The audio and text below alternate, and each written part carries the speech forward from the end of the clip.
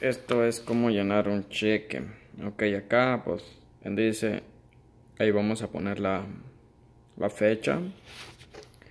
Y aquí pues pagar a la orden de. Aquí podemos poner un nombre. Acá pues voy a poner yo un nombre nomás a...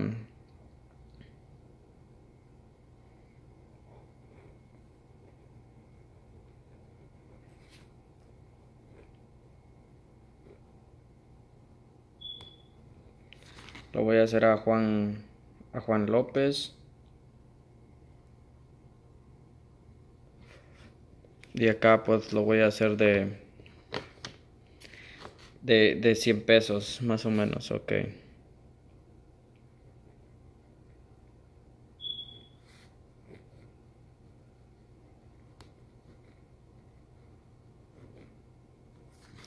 De, de, de, de 100 pesos.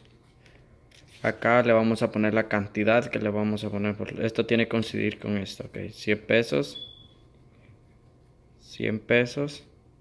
Y acá pues números chiquillos así. Y a este lado, acá es muy importante ponerle 00 bajo 100 centavos. Para que no vaya a haber alguien más listo y le vaya a poner 150 dólares, 118 dólares. Es para que no agranden más la, la cantidad. 0 centavos bajo 100. Ok. Acá si quieren le rayan acá. 100 y todo. Acá le tienen que poner de qué fue el cheque o, o de qué estás dando ese cheque. Como uh, yo tengo una compañía, le puedo poner labor. A quebrar concreto.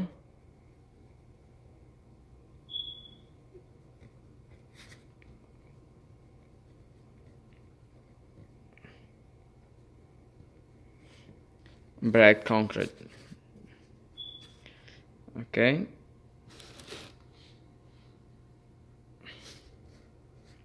Esto no... Y usualmente lo que hago yo también es que le pongo la descripción y acá le pongo el número del invoice. Entonces le pongo aquí.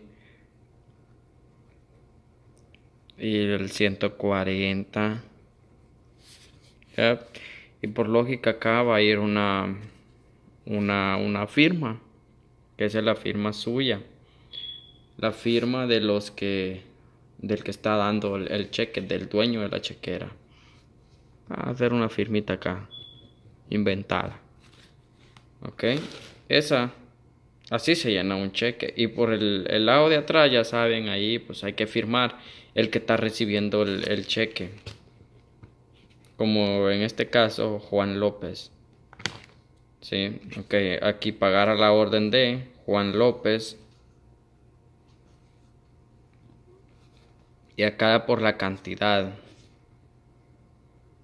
cuánto es. Entonces acá lo hice 100 pesos bajo 0 centavos.